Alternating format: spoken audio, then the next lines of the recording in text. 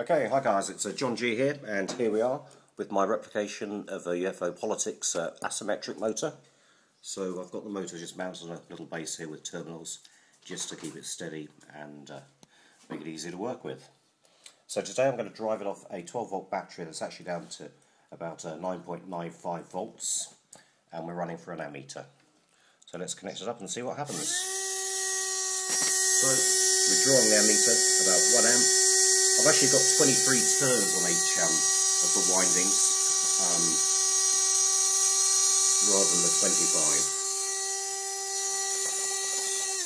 So I'll just swap over the uh, connections on the motor so we can see it running the other way.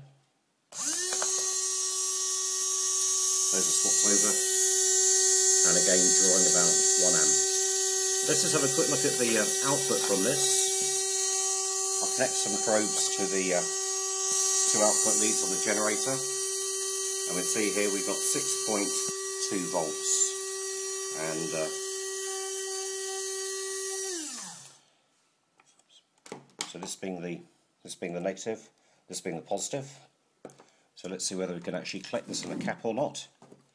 So here's the capacitor shorted out. Connect the capacitor up to the outputs start it up again.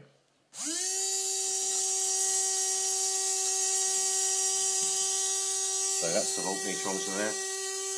And we've got the capacitor rising. 8.44, 5, 6, 7, 9, 8.5.